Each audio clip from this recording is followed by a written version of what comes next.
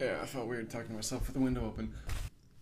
Yeah, so the carpet cleaner guy came today. I don't know if you can tell, but um, this room is completely empty. This is actually my brother's old room, but uh, I came in here to uh, film this because I had to put my desk back downstairs because the carpet was still a little bit wet, and my parents didn't want me to put my desk up on the wet carpet. Yeah, but I don't know where I'm gonna sit and work on my game because uh, I can't put my desk up till all this carpet dries, and the carpet's not drying, and I need somewhere to sit.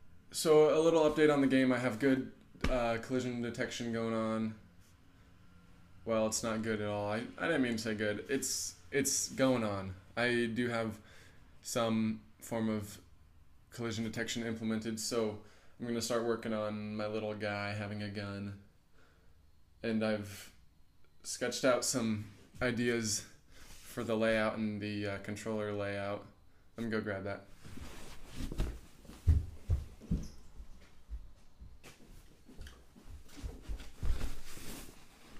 Yeah, so when I drew this, uh, I think I had the iPad in mind, but um, yeah, now that I think about it, this might be hard to implement on a smaller screen such as the iPhone, but I might make it for iPad. Uh, you'll probably see by this drawing that I'm an amazing artist. I took 12 years at the Art Institute uh, with a major in drawing, so yeah. Um, if you don't think it's good, it's because it's abstract. It's actually really, really amazing in the art community. If you don't, if you don't think it's good, it's because you don't get it and you're an inferior artist. So as you can see, here's me or you or the player. This would be like a joystick style, uh, joystick style controller for one, or virtual joystick for one thumb. Then the other thumb would have your, like, let's walk this way, walk this way, or shoot your gun type controllers.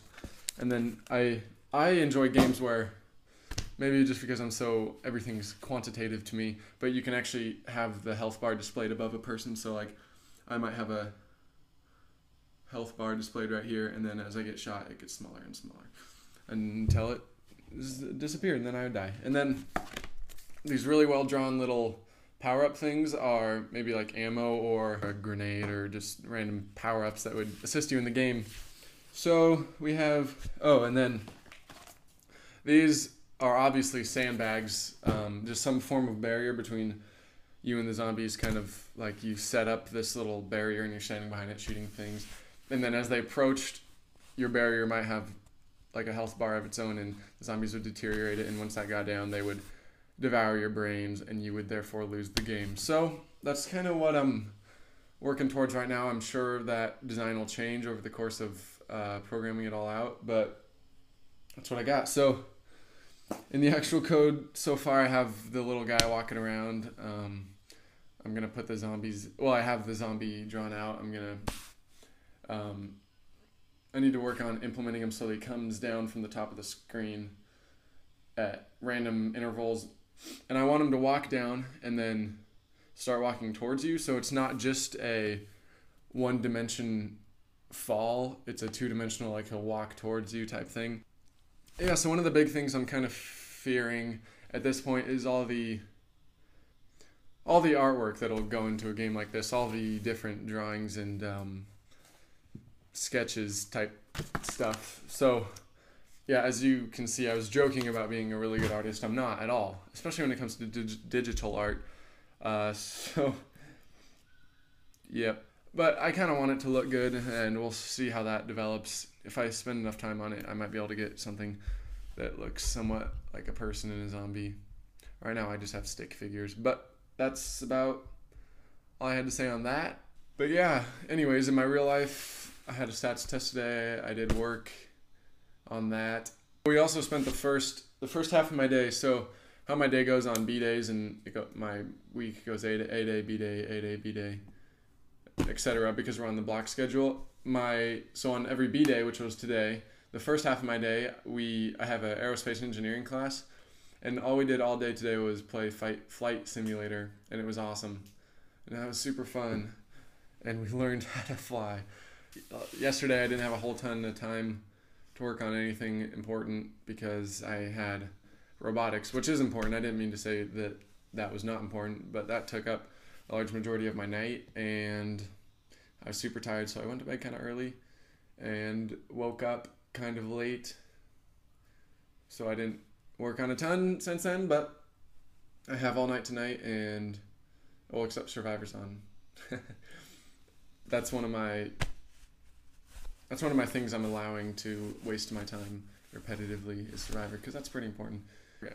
So I was talking about how I need to be working on my college applications um, during this time because I am a senior in the high school, but I've kind of managed to take that all that time and work on it at school, or I couldn't be working on other things because I have this one class where basically I was the only person who signed up for advanced web design or the advanced advanced advanced web design class. I don't know how to put that, but basically everybody else sucks with computers, so they wanted me to work on the school website and I so I signed up as so this class I'm in is called sports entertainment marketing, but I don't do any of that curriculum. Any just gives me arbitrary grades, normally like 98s and 99s on all the tests and homework, and I pretty much sit there and um, work on different web design stuff. Like I made some made some uh, dynamically generated tables for the basketball teams so that they can just enter the stats into a database and then it sorts themselves.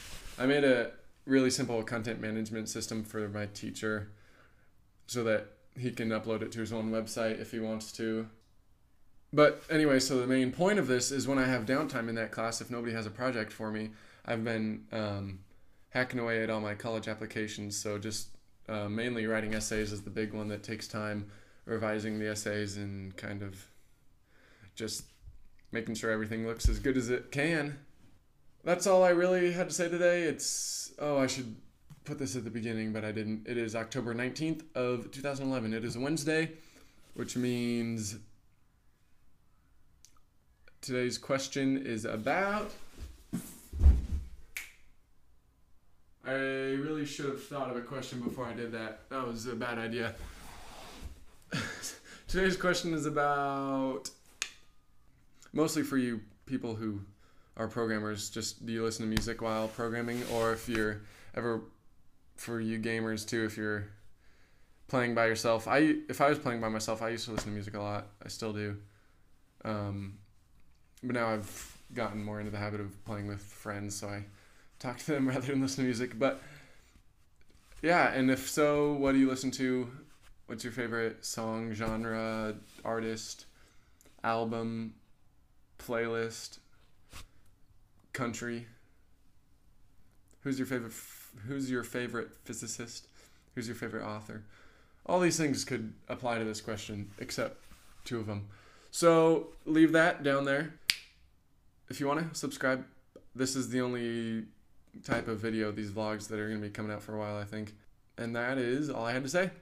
So keep on keeping on.